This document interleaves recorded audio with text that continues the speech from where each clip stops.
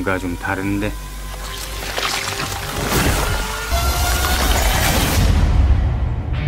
Halo guys, gimana kabarnya kalian? Semoga saja kalian semua selalu sehat dan diberikan rezeki yang berlimpah.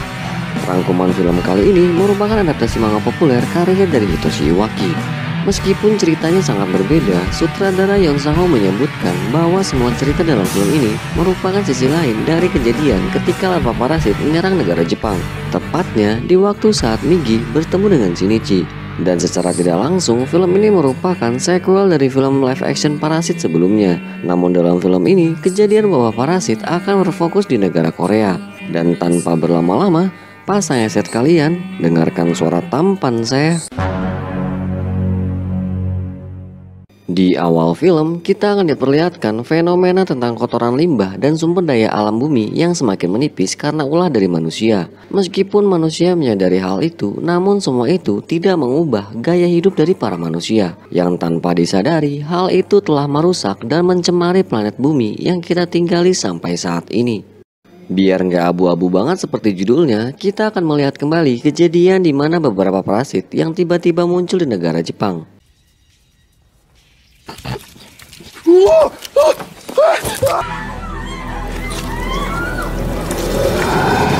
Dan di waktu yang sama, kejadian itu juga dialami oleh negara Korea. Beberapa larva parasit yang jatuh dari langit dengan cepat mencari inang tubuh manusia untuk bisa bertahan hidup.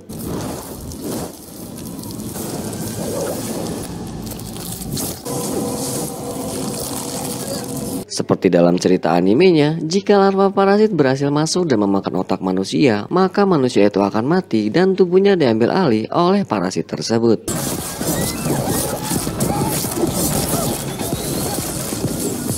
Di sisi lain, kita akan diperkenalkan dengan sang tokoh utama dalam film ini yang bernama Jung So In. Ia bekerja sebagai kasir di suatu swalayan daerah kota Namil. Di saat ia bekerja, ia dihadapkan dengan konsumen yang sangat meresahkan.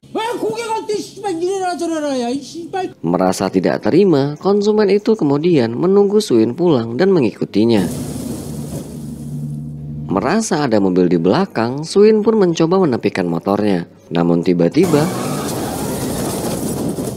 konsumen merasakan itu memotong jalur motor Suin hingga membuatnya terjatuh. Tidak cukup di situ, pria itu pun tiba-tiba menusuk tubuh Suin berulang kali. Dengan luka yang cukup parah, meskipun ia berhasil menjauh, akhirnya Suin pun pingsan di tempat tersebut. Dalam keadaan itu, larva parasit tiba-tiba jatuh di dekat Suin dan masuk ke dalam tubuhnya. Si konsumen meresahkan yang masih tak terima, berniat akan membunuh Suin. Namun tiba-tiba, tubuhnya terbelah dua tepat di hadapan Suin yang masih pingsan. Singkat cerita, setelah kejadian itu, Suin pun kini dirawat di rumah sakit. Salah satu detektif polisi yang bernama Cholmin ternyata adalah orang yang pernah menolong Suin di waktu kecil ketika ia mendapatkan kekerasan dari ayah kandungnya. Dan ia pun sangat terkejut ketika kasus yang ia tangani saat ini berhubungan dengan Suin. Dalam penyelidikannya, mereka pun sangat bingung dengan apa yang sebenarnya telah terjadi. Karena memang si konsumen meresahkan yang berniat membunuh Suin ditemukan telah tewas dengan tubuh yang terbelah dua. Tidak cukup di situ, ketika mereka menemukan Suin yang masih pingsan, banyak sobekan pisau di bajunya yang dipenuhi dengan bercak darahnya sendiri. Namun setelah dokter memeriksanya, luka yang ada di tubuh Sumin telah tertutup seperti bekas luka yang sudah lama. Dan setelah Suin tersadar, Cholmin pun mencoba bertanya kembali tentang kejadian yang dialami Suin di saat itu. Meskipun tidak ada luka apa pun di tubuhnya, namun Suin tetap merasa bahwa ia telah ditikam berkali-kali oleh si konsumen tersebut. Karena memang perasaan itu mengingatkannya ketika ia disiksa dan dipukuli oleh ayah kandungnya sendiri. Di lain cerita, kita akan diperkenalkan dengan seorang pria bernama Kang Wo. Ia merupakan salah satu anggota geng mafia di kota Busan. Dan kini ia sedang menjalani misi untuk membunuh ketua geng dari Yang Dongpu.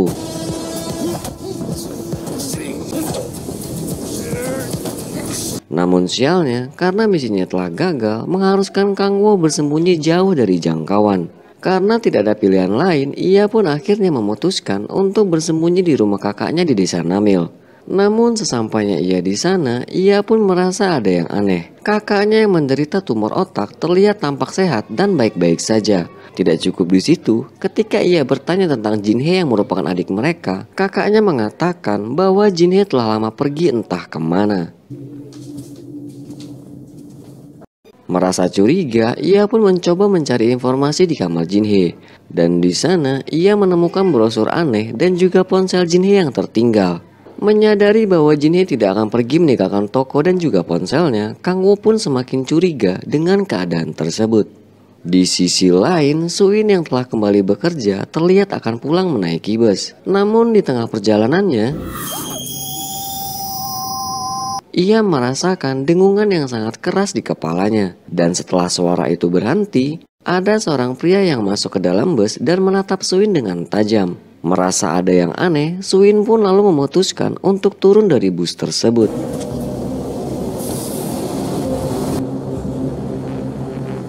Di waktu yang sama, seorang pria dengan anggota girl bandnya terlihat sedang menuju ke sebuah gedung kosong. Pada awalnya, pria itu berpikir akan bisa bercocok tanam dengan gadis tersebut. Namun ternyata, gedung itu adalah tempat sekumpulan parasit yang sudah menunggu makanannya datang.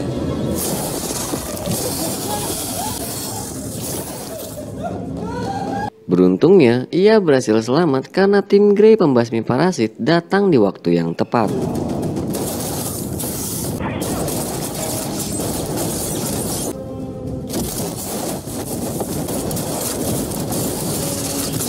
Dalam penyergapan itu, kita akan diperkenalkan dengan komandan tim Grey yang bernama Choi Jon Kyung.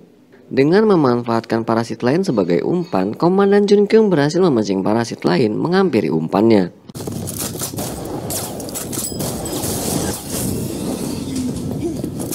Namun sialnya, parasit itu berhasil kabur melarikan diri.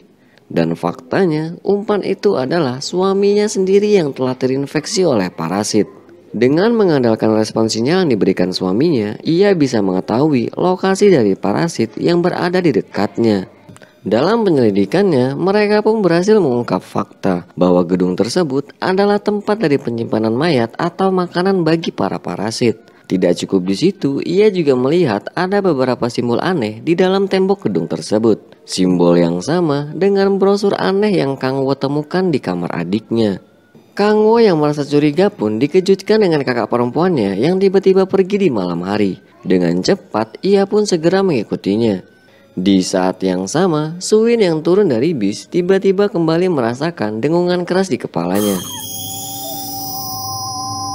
Ternyata, pria yang ia temui di bus tadi tiba-tiba muncul dan mengejarnya. Dalam pelariannya, Suin mencoba menghubungi detektif Chulmin. Namun naas, ia terpojok dan dicegat oleh kakak perempuan dari Kang Wo. Dalam keadaan itu, Suin pun bertanya siapa sebenarnya mereka. Namun si pria itu kembali bertanya, apakah kau sama seperti kami? Dan tiba-tiba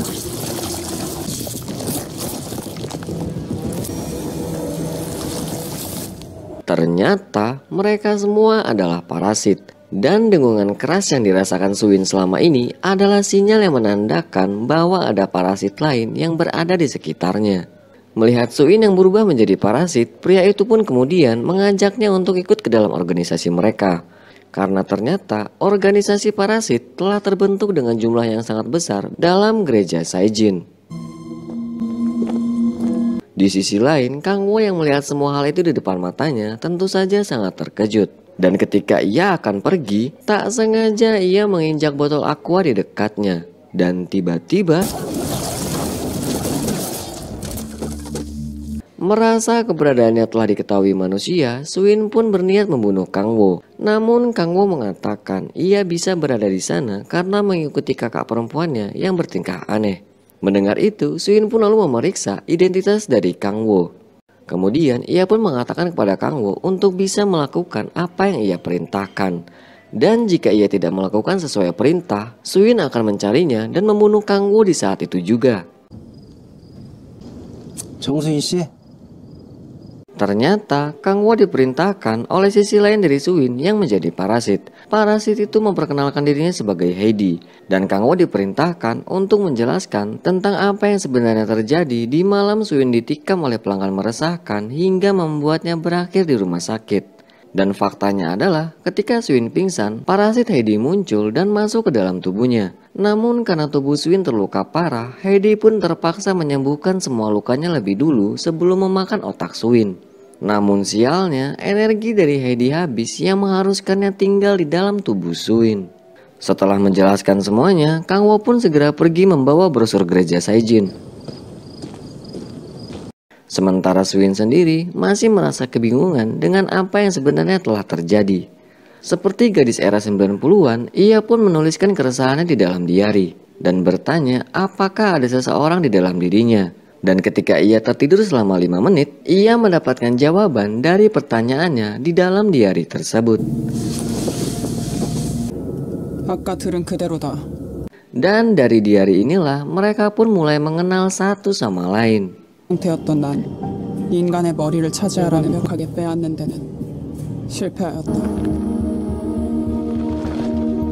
Dan faktanya, Hedi hanya bisa menguasai tubuh Suin selama 15 menit karena memang otak dari Suin tidak jadi dimakan oleh Heidi. Yang pada akhirnya Heidi pun memutuskan untuk bertahan hidup dengan cara menjadi salah satu bagian dari tubuh Suin. Di lain cerita, Komandan Junkyu mengadakan rapat dengan para detektif dan para polisi daerah Namil. Di sini, fenomena tentang banyaknya pembunuhan pun kembali dijelaskan. Meskipun tetap tidak ada penjelasan tentang asal-muasal parasit, namun kejadian dan pada waktu yang sama, parasit telah muncul dan menyebar di seluruh dunia. Meskipun cara mendeteksi suatu parasit dalam tubuh manusia bisa dengan rongsen, namun cara itu tidaklah efektif dilakukan saat berada di lapangan. Dan untuk bisa mengetahui manusia yang telah menjadi inang dengan cepat, mereka hanya perlu mencabut rambut mereka. Dan jika rambut dari manusia yang telah menjadi inang dicabut, rambut itu akan berubah menjadi kering dan patah.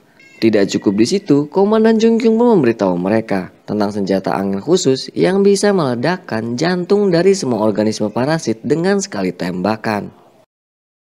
Sin berpindah di keadaan Kang yang sedang memperbaiki ponsel adiknya. Namun tak lama kemudian, geng Yang Dongpu tiba-tiba datang setelah ditelepon si pemilik bengkel di daerah tersebut.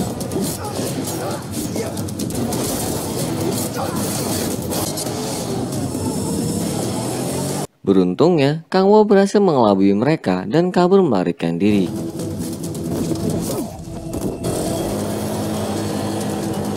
Di sisi lain, kita akan diperkenalkan dengan rekan detektif Chelmin yang bernama Wonsok. Ia ditugaskan untuk mengumpulkan beberapa data tentang kejadian terkini kepada Komandan Jun Kyung. Dengan wajah sumringah, Wonsok terlihat senang berada di dekat Jun Kyung. Ternyata Wonsok adalah salah satu penggemar dari Komandan Jun Kyung. Kembali di keadaan Suin yang telah kembali bekerja. Dengan semua hal yang telah menimpa hidupnya, tentu saja membuatnya sangat bingung. Dan tak lama kemudian, detektif Chulmin tiba-tiba datang menghampirinya. Melihat kedatangan Chelmin yang sudah ia anggap pamannya sendiri, Suin pun terlihat sangat senang. Ternyata, tujuan Chelmin datang menemui Suin hanya untuk memastikan siapa Suin sebenarnya. Berbekal info dari Komandan Jun Kyung, Cholma mencari cara untuk bisa mencabut rambut dari Suin. Dan ketika berhasil mencabut rambutnya, tidak ada hal aneh yang terjadi kepada rambut tersebut. Mengetahui hal itu, Cholmin pun terlihat sangat lega. Namun tak lama kemudian, Suin kembali merasakan dengungan keras di kepalanya. Dan ketika ia melihat keluar, ada seorang pria yang berjalan dengan cara dan ekspresi yang aneh. Meskipun Swin tahu bahwa pria itu adalah parasit, namun Swin mencoba untuk biasa saja. Sementara Cholmin yang telah memastikan kecurigaannya memutuskan untuk kembali ke markas. Dan sebelum pergi, ia memberikan gantungan kunci kepada Swin. Di saat malam tiba, Swin yang akan pulang ke rumah tiba-tiba dihampiri oleh kedua orang parasit yang pernah ia temui sebelumnya. Mereka memaksa Swin untuk masuk ke dalam mobil dan ikut dengan mereka. Di waktu yang sama, Kang Wo yang masih mencari adiknya terlihat telah sampai di gereja Saijin dan memantau tempat tersebut. Dan tak berselang lama, ia melihat Suin bersama dengan kakak parasitnya yang datang ke lokasi tersebut. Dalam keadaan itu, ia juga mendapatkan pesan jika teman gengnya telah sampai di pom bensin. Setelah mereka semua masuk ke dalam gereja, Kang Wo pun bermaksud memeriksa salah satu gedung tepat di samping gereja tersebut. Dan ketika ia masuk ke dalam, ia dikejutkan dengan banyaknya mayat yang tergantung dalam gedung tersebut. Dan tak lama kemudian, ada parasit yang masuk ke dalam gedung tersebut. Menyadari hal itu, Kang Wo pun segera bersembunyi. Di sisi lain, Suwin yang juga telah masuk ke dalam gereja bertemu dengan pemimpin dari organisme parasit yang bernama Kwang Yok.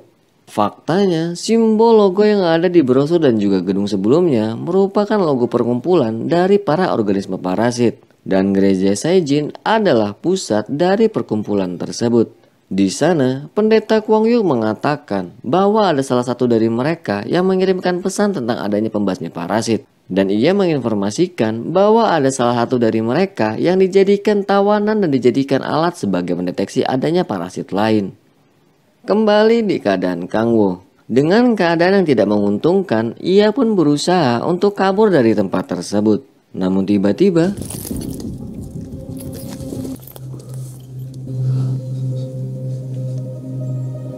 ia melihat mayat adiknya yang tergantung tepat di hadapannya. Melihat itu, Kang Wo pun merasa sedih dan sangat marah. Tanpa pikir panjang, ia pun tiba-tiba menyerang parasit tersebut. Dan kejadian itu menyebabkan perkumpulan parasit yang ada di gereja mengetahui keberadaan Kang Wo. Dengan cepat, pendeta Kwon Yung memerintahkan semua parasit untuk segera membunuhnya. Namun ketika mereka akan menuju ke sana, Suin yang kebingungan tiba-tiba menjatuhkan kuncinya. Dan hal itu membuat pendeta Kwon Hyuk menatap tajam kepadanya. Sementara Kang Wei yang berusaha kabur dari jangkauan parasit tiba-tiba dicegat oleh anak buah dari Yang Dongpu. Meskipun ia terus meyakinkan mereka semua untuk segera pergi, namun tidak ada satupun yang bisa mempercayai Kang Wo. Yang pada akhirnya, beberapa parasit itu pun berhasil menemukan Kang Wo dan membantai semua manusia di tempat tersebut.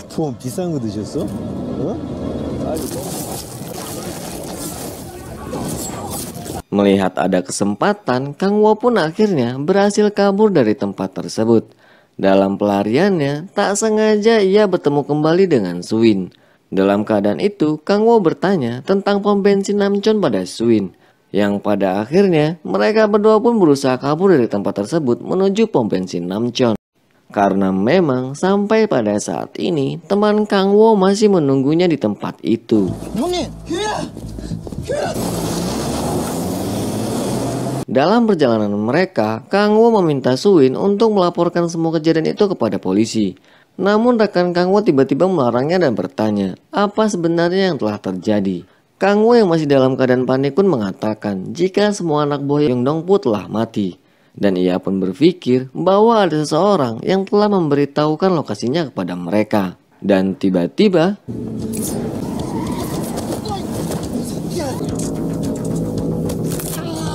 Ternyata yang telah mengkhianati Kang Wo selama ini adalah rekannya sendiri.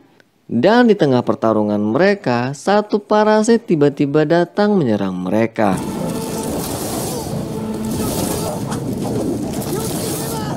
Dan kejadian itu membuat Suin terlempar keluar dan bertarung dengan parasit tersebut.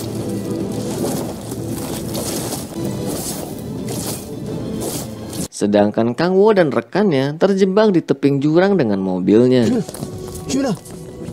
Dalam keadaan kritisnya, rekannya pun mengatakan kebenaran kepada Kang Wo bahwa sebenarnya pemimpin mereka lah yang telah menyuruhnya untuk menyerahkan Kang Wo kepada anak buah Yang Dongpu. Hal itu dilakukan sebagai langkah perdamaian antara geng Jangdo dan juga Yang Dongpu. Di sisi lain, Hedi yang mengendalikan tubuh Swin pun akhirnya berhasil mengalahkan parasit tersebut.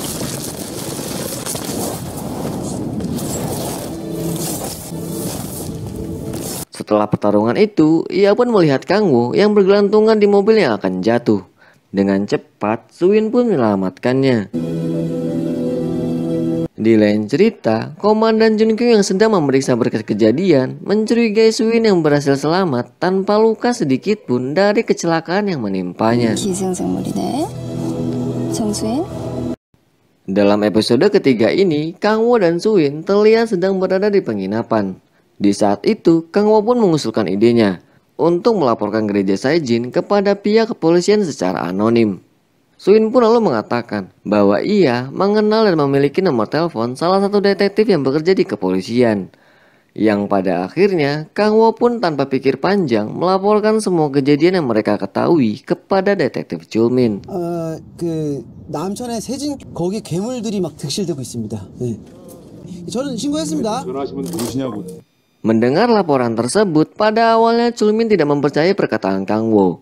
Namun ketika ia dan rekannya mencari keberadaan gereja Saijin, tempat itu pun berada di suatu tempat tak jauh dari desa Namil. Mengetahui hal itu, detektif Chulmin segera menemui Komandan Jun Kyung. Namun sebelum Chulmin memberitahunya, Jun Kyung bertanya tentang kasus yang menimpa Suin kepada Chulmin. Meskipun pada awalnya Jun Kyung mencurigai Suin, namun Chulmin menjelaskan kembali tentang kejadian yang menimpa Suin. Bahkan ia juga mengatakan ia telah melakukan tes dengan mencabut rambut Suin dan hal itu cukup memastikan bahwa Suin adalah manusia. Setelah meyakinkan Komandan Jun Kyung, Chulmin kemudian mengatakan bahwa ia telah mendapatkan laporan anonim tentang gereja mencurigakan yang dianggap sebagai tempat perkumpulan para parasit. Dan tak lama kemudian, salah satu anak buah Jun Kyung menghampirinya dan menunjukkan brosur dengan logo gereja Saijin. Dan hal itu memperkuat laporan yang Chulmin sampaikan kepada Jun Kyung. Dengan cepat, pasukan tim Grey pun melancarkan aksinya dan menuju ke lokasi gereja Saijin.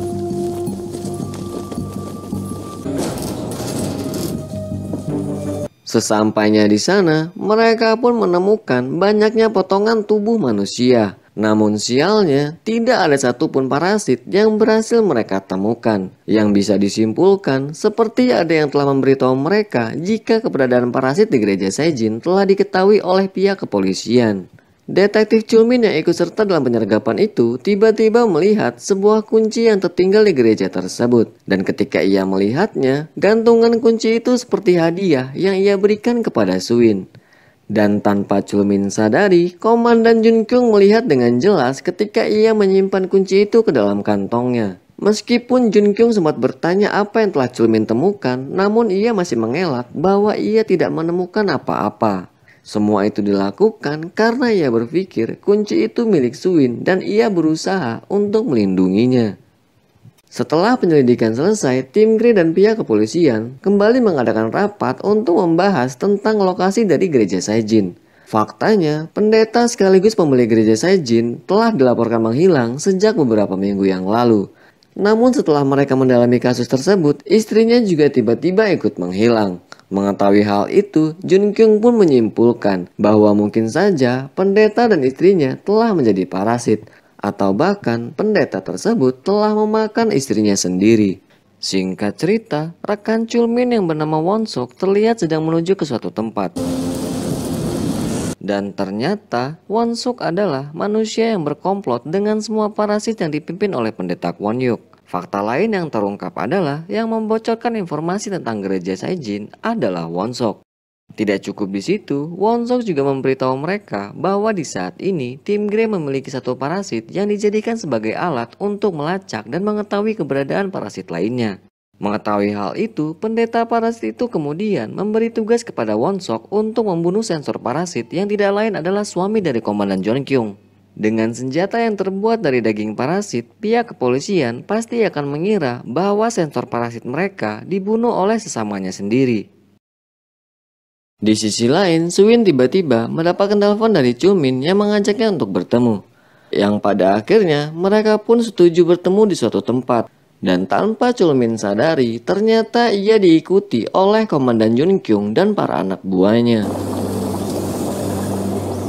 Ketika mereka bertemu, Chulmin pun memberikan kunci yang ia temukan kepada Suin. Dan ia bertanya, apakah Suin pernah ke gereja Saijin?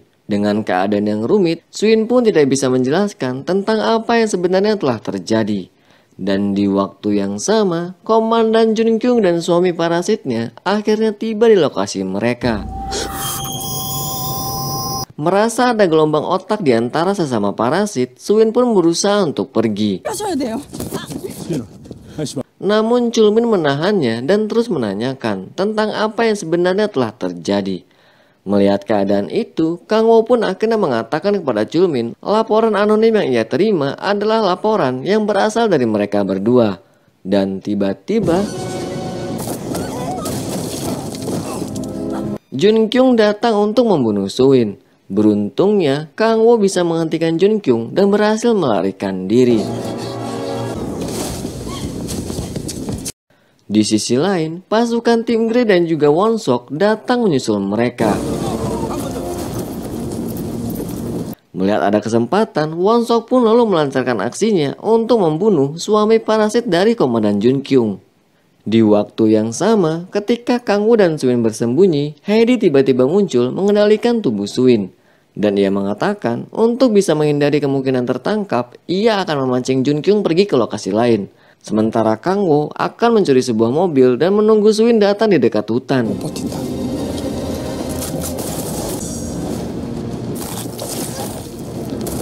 Namun sialnya, ketika Heidi berhasil membuat Jun Kyung lengah, pasukan tim Grey tiba-tiba datang mengepungnya. Sedangkan Kang Wo yang telah berhasil kabur ke hutan, tanpa sengaja ia melihat Won Sok yang sedang membunuh suami parasit dari Komandan Jun Kyung.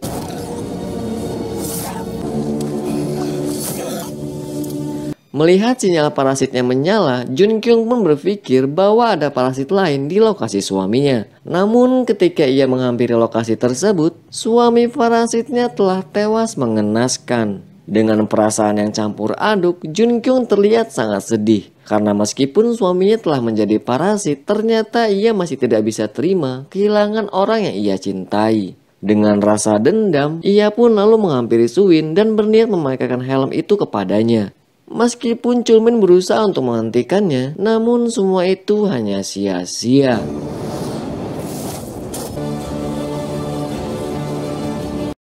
Setelah menangkap Suin, mereka pun kembali mengadakan rapat.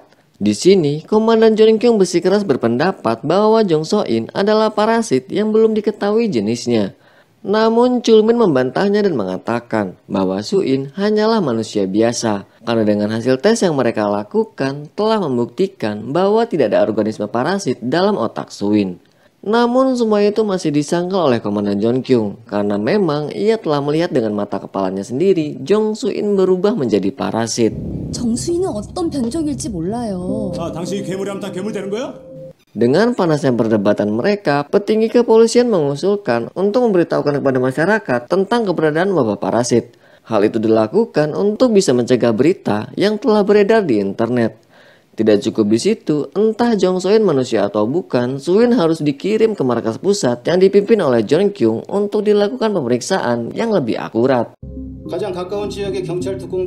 Di sisi lain, Jong Soin yang tak sadarkan diri masuk ke dalam alam bawah sadarnya. Dan di sana, ia bertemu untuk pertama kalinya dengan parasit yang dikenal dengan Heidi. Dengan wajah Suin yang kini tertutup ember aluminium, Heidi memberitahukan Suin tentang keadaannya yang sangat berbahaya. Karena jika ia sampai tersadar, Suin akan merasakan rasa sakit yang sangat luar biasa. Dan hal itu bisa membuatnya mati seketika. Di saat yang sama, anak buah Chulmin memberikan informasi bahwa mereka sudah mendapatkan identitas pria yang bersama Jong Soin. Dan setelah mengetahuinya, ia pun segera melacak dan menuju ke tempat Kang Wo berada. Tak butuh waktu lama, saat Kang Wo sedang berada di dalam bus, Chulmin tiba-tiba datang menangkapnya. Dengan keadaan itu, Kang Wo meminta kepada Chulmin agar membawanya ke kantor polisi yang sangat jauh. Karena memang ia merasa ada parasit yang menyamar dalam kantor polisi di desa Namil. Kang Wo pun menjelaskan, di saat Suin tertangkap, parasit yang memakai helm besi dibunuh oleh polisi parasit. Mendengar itu, Chulmin lalu menunjukkan sebuah foto kepada Kang Wo. Dan tak diduga, orang yang ditunjuk Kang Wo adalah rekannya sendiri. Di sisi lain, Wonsuk menghubungi pendeta parasit dan memberitahukan waktu dan jalur pemindahan dari Jong In. Dan si pendeta pun mengatakan bahwa rencana mereka akan dimulai dari sekarang. Di saat yang sama, King Chulmin akhirnya mengetahui tentang kebenaran yang menimpa Suin selama ini. Bahwa ada parasit bernama Heidi yang tinggal di dalam tubuh Suin. Meskipun keadaannya sangat rumit, namun Kang Wo meyakinkan Chulmin keberadaan Heidi hanyalah untuk bisa bertahan hidup. Mendengar itu, Chulmin pun meminta bantuan kepada Kang Wo untuk bisa membebaskan dan membawa kabur Suin dengan jaminan keselamatan dan kebebasan dari mereka berdua. Karena jika memang Suin masih mempunyai kesadaran manusia, tidak seharusnya ia berada di markas pusat. Karena jika sampai hal itu terjadi, Suin akan menjadi bahan eksperimen dan mati. Yang pada akhirnya misi rahasia pembebasan Suwin akhirnya dilakukan.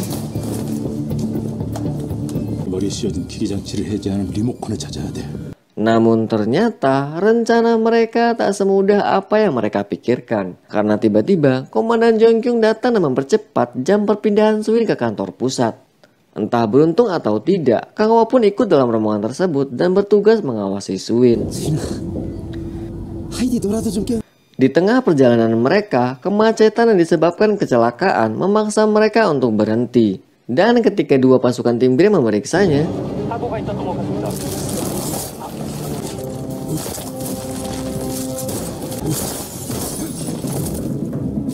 banyak parasit yang tiba-tiba datang menyerang mereka. Ternyata organisasi parasit telah menyusun jebakan dan berniat membunuh Suin.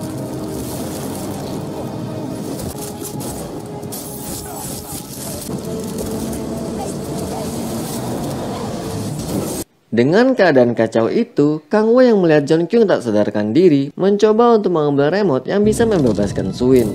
Namun tiba-tiba,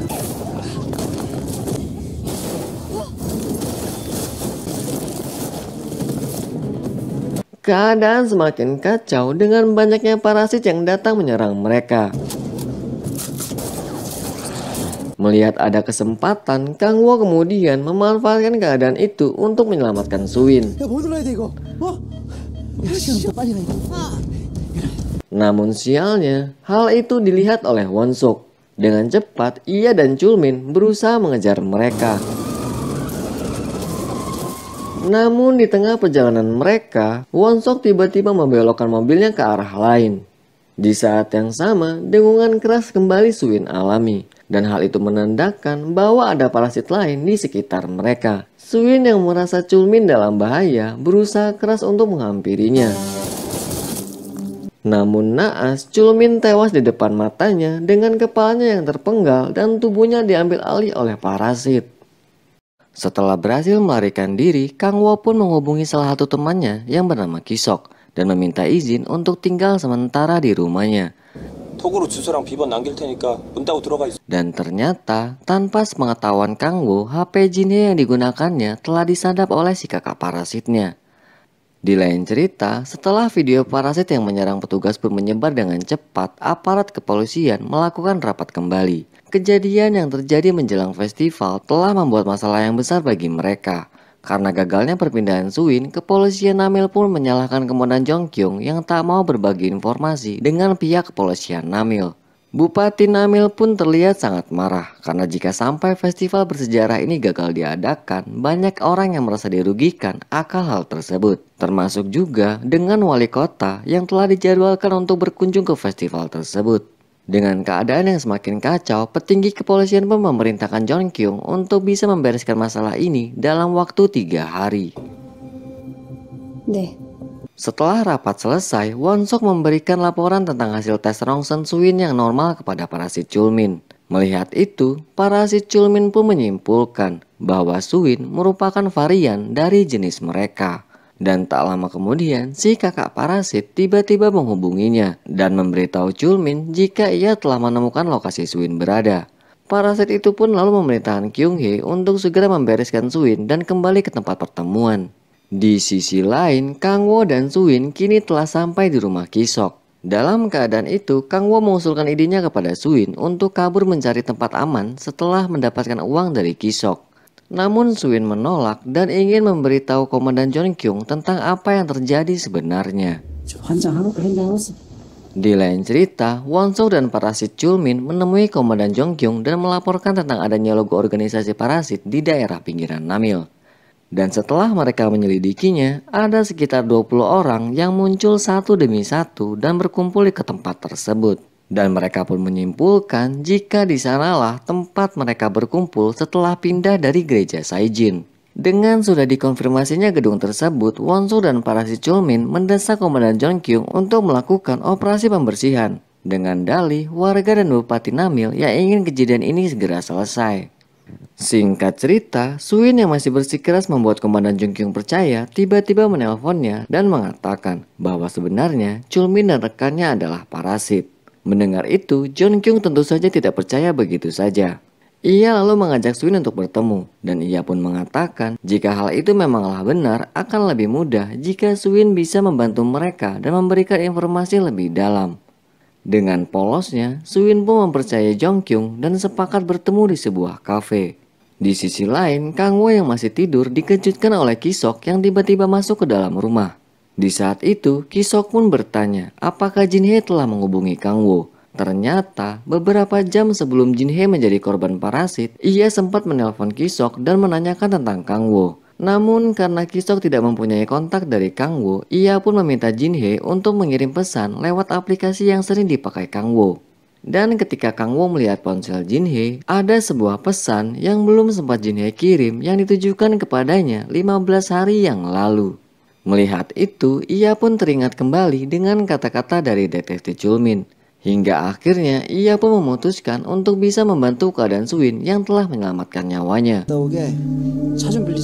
Di waktu yang sama, Komandan John Kyung akhirnya bertemu dengan Suwin. Suwin pun menjelaskan tentang kejadian sebelum Chulmin menjadi parasit. Namun di sana, John Kyung masih tidak percaya dan mengatakan jika Chulmin adalah parasit, bagaimana ia bisa melaporkan gedung tempat parasit berkumpul dan mendesaknya untuk melakukan operasi pembersihan. Dan tiba-tiba, Suin dikepung oleh anak buah dari John Kyung. Dengan kepolosannya, Hedi pun mengambil alih tubuh Suin dan kabur dari tempat tersebut. Dan di waktu yang tepat, Kang Wo datang membantu Suin melarikan diri. Dalam perjalanan mereka, Heidi yang masih mengendalikan tubuh Suin pun berkata kepada Kang Wo bahwa Suin telah melakukan hal yang sangat berbahaya bagi kehidupannya. Namun Kang Wo pun menjawab, arti bertahan hidup bagi manusia dan parasit sangat jauh berbeda. Setelah itu, Heidi pun berpesan kepada Kang Wo untuk tiga jam ke depan jangan melakukan hal yang berbahaya. Karena di saat kejadian tertangkapnya Suin, Heidi terlalu lama mendominasi tubuh Suin. Dan hal itu menyebabkannya akan tidur dengan waktu yang sangat lama. Di lain cerita, Kyung Hee si kakak parasit tiba-tiba datang dan masuk ke dalam rumah Kisok. 누나 강우 Dan Kisok segera menelpon Kang Wo dan memberitahukan bahwa kakaknya berada di sana. Mendengar itu, Kang Wo pun sangat terkejut. Dan tiba-tiba, 15분의 시간을 주지. Kyung Hee lalu mengambil ponsel itu dan mengancam Kang Wo untuk segera datang. Dengan Hedi yang masih tidur sepenuhnya, membuat keadaan mereka sangatlah berbahaya. Namun, Suin tetap bersikeras untuk menemui Kyung Hee untuk bernegosiasi. Sesampainya di sana, Suin pun berpura-pura seperti Heidi. Namun semua itu percuma karena Kyung Hee telah mengetahui identitas Heidi adalah varian. Merasa bahwa keberadaan Heidi adalah ancaman bagi jenisnya, Kyung Hee pun berniat akan membunuhnya. Namun tiba-tiba Kang Wo datang melemparkan apar ke arah Kyung Hee. Meskipun Kang Wo berusaha untuk menolong Kisok, namun Kisok lebih memilih mengorbankan dirinya untuk menahan Kyung Hee. Merasa tak percaya dengan apa yang terjadi, Kang Wo pun terlihat sangat marah. Di lain cerita, Komandan Jong Kyung dan yang lain terlihat sedang membuat strategi tentang operasi pembersihan parasit. Di saat itu, ia pun teringat kembali dengan apa yang dikatakan oleh Suin. Dan ketika mereka akan menaiki lift, John Kyung membawa gunting untuk memastikan dan mencari tahu kebenarannya. Namun di saat ia menggunting rambut Wonsuk, apa yang dikatakan Suin tidak terbukti. Karena ternyata Wonsuk hanyalah seorang manusia. Di saat operasi akan dilaksanakan, Kang Wo menghubungi Komandan Jong Kyung dan mengatakan bahwa operasi mereka adalah suatu jebakan dari parasit. Namun Komandan Jong Kyung tak percaya dengan hal itu, karena ia sudah membuktikan perkataan Swin yang mengira Wonsuk adalah parasit tidaklah benar. Kang Wo yang mendengar itu pun tetap meyakinkan Jong Kyung bahwa Wonsuk dan Chulmin adalah bagian dari parasit. Karena memang ia melihat dengan mata kepalanya sendiri ketika Wonsuk membunuh parasit yang memakai helm besi dengan alat seperti pisau. Mendengar itu, komandan lalu meminta Kang Wo merekam pembicaraan mereka. Jika memang ini jebakan dan membuat mereka semua mati, Kang Wo diminta untuk membawa rekaman ini ke Badan Kepolisian Nasional.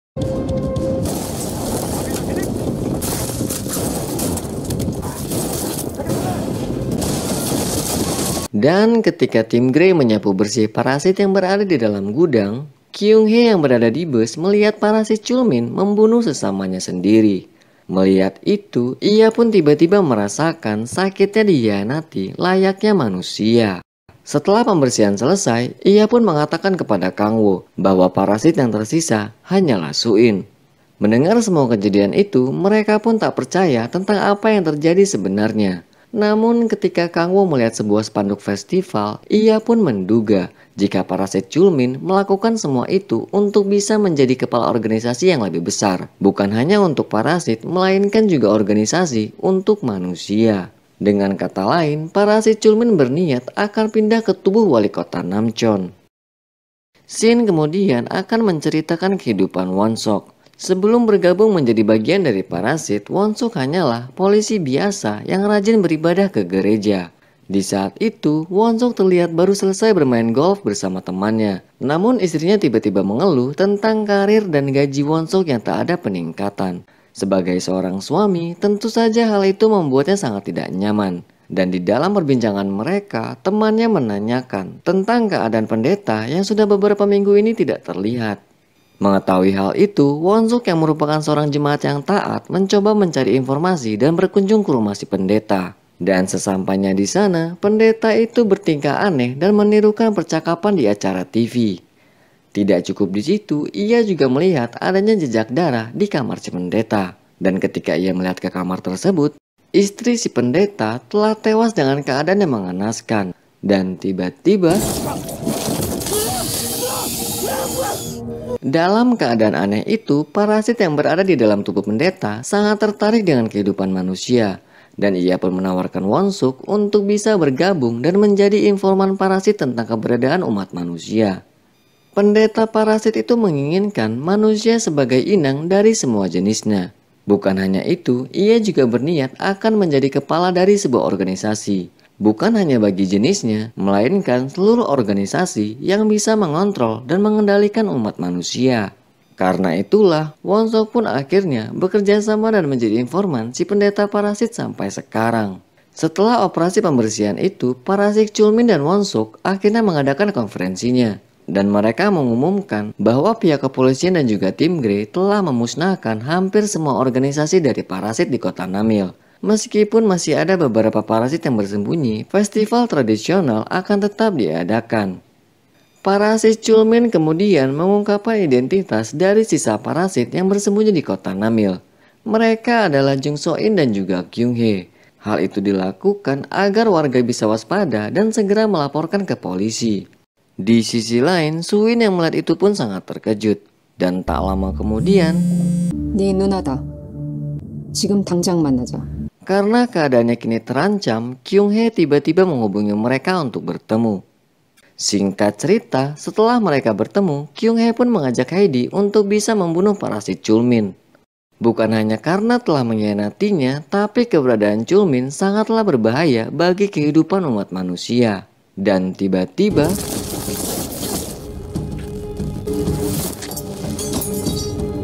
Kang Wo yang terlihat sangat dendam menyerang kakak parasitnya. Meskipun Kyung Hee bisa dengan mudah membunuhnya, namun kini ia telah berubah. Karena kini ia mengerti apa yang dirasakan Kang Wo saat melihat adik dan temannya terbunuh. Dengan tujuan yang sama, Kang Wo pun memberitahu apa rencana para si Chulmin selanjutnya kepada Kyung Hee. Yang pada akhirnya mereka pun sepakat untuk bekerja sama dan membunuh Chulmin sebelum ia mengambil alih tubuh wali kota. Di lain cerita, John King yang mulai curiga meminta kembali hasil otopsi dari parasit suaminya.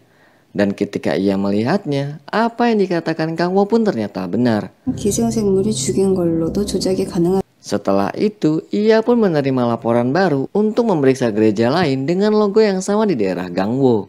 Ternyata, laporan itu mereka terima dari parasit Chulmin. Faktanya, ini adalah rencana dari parasit Chulmin untuk menjauhkan Jongkyung dan tim Grey dari jangkauan festival. Semua itu dilakukan hanya untuk melancarkan aksinya ketika ia mengambil alih tubuh wali kota. Tak butuh waktu lama untuk menjalani perintah atasan, Komandan Jongkyung dan tim Grey akhirnya menuju daerah Gangwon. Namun dalam perjalanannya, Komandan Jongkyung mendapat telepon dari Heidi yang telah bangun dari tidurnya. Di saat itu, ia pun menjelaskan kepada Jongkyung. Pada awalnya, mereka memang berpikir bahwa Wonsuk adalah parasit. Namun setelah mereka bertemu dan mendengar semua cerita dari salah satu anggota Seijin, ternyata tujuan Wonsuk dan parasit Chulmin adalah membentuk suatu organisasi besar dan mengambil alih kekuasaan manusia. Dan tujuan mereka sekarang adalah mengambil alih tubuh dari wali kota. Heidi pun tak memaksa Jongkyung untuk percaya, namun ia mengatakan bahwa ia akan menuju festival dan berusaha untuk menghentikan parasit Chulmin. Mendengar itu, Jongkyung teringat kembali dengan hasil otopsi dari mayat suaminya. Yang pada akhirnya, ia pun memutuskan untuk memutar arah kembali menuju festival.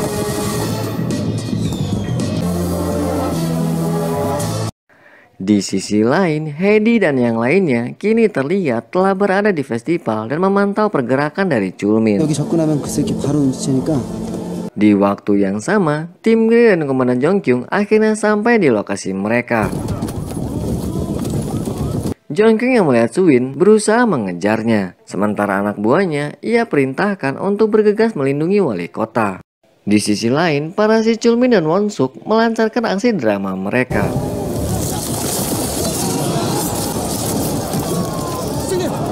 Ketika Chulmin menyerang wali kota, Wonsuk pun tiba-tiba datang menyelamatkannya. Tanpa mereka semua sadari bahwa sebenarnya tujuan Wonsuk membawa wali kota ke tempat sepi hanya untuk membuat si parasit mengambil alih tubuh wali kota.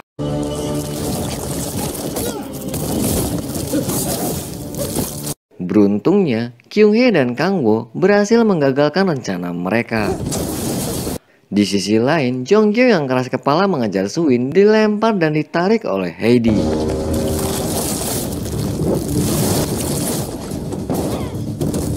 Dan Heidi mengatakan tujuannya hanya untuk bertahan hidup dan melindungi tubuh Suin. Ia tidak tertarik sama sekali untuk melukai Jong Kyung atau siapa pun. Kembali di keadaan wali kota, Kyung Hee yang meminta Kang Wo untuk segera menyelamatkan wali kota tiba-tiba ditembak oleh Won Suk. Merasa kondisinya berbahaya, ia pun melemparkan Kang Wo dan wali kota ke tempat aman. Sementara ia sendiri akan menahan si parasit tersebut. Dalam keadaan kritisnya, ia pun meminta maaf kepada Kang Wo tentang semua hal yang telah terjadi. Setelah pertarungan itu, karena tidak ada manusia lagi sebagai inangnya, si parasit itu pun memutuskan untuk mengambil alih tubuh Wonsuk. Kemudian, ia pun bergegas mengejar Kang Wo.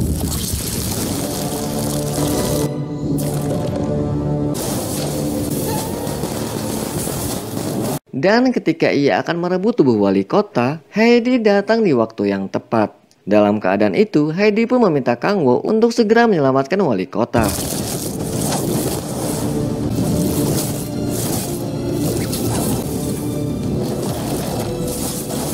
Dan ketika Wonsok terpojok, ia pun menyusun rencana dengan membelah bagian parasitnya untuk menjebak Suin.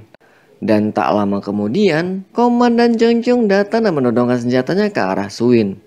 Dalam keadaan itu, si parasit Wonsuk meminta Jongkyung untuk segera membunuh Suin.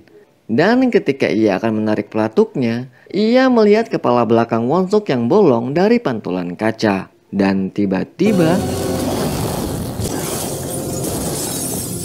mereka berdua pun berhasil membunuh parasit tersebut.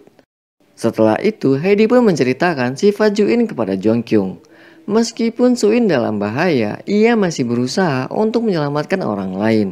Karena sebenarnya Suin hanyalah merindukan kehidupan tenang di antara orang-orang di sekitarnya. Heidi lalu meminta kepada Jongkyung agar ia bisa menjaga Suin. Tak berselang lama, Kang Wo datang karena khawatir dengan keadaan Suin. Dan ketika semua pasukan tim Grey datang, Jongkyung meminta mereka untuk membawa Kang Wo dan Jongkyung pergi ke rumah sakit. Dan ia juga mengatakan kepada pasukannya, mereka berdua hanyalah manusia biasa. Beberapa hari kemudian, Suin yang telah kembali bekerja diampiri oleh Kang Wo. Di saat itu, Kang Wo memberikan surat dari Heidi yang ditujukan kepada Suin. Dan ia memberitahu Suin bahwa ia kini telah menjadi bagian dari tim Grey.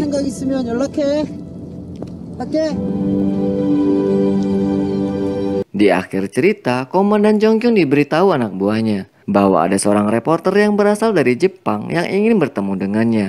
Ia mengaku sebagai ahli di bidang organisme dari parasit. Dan ternyata reporter itu adalah Shinichi Izumi, sang tokoh utama dalam film Parasit sebelumnya.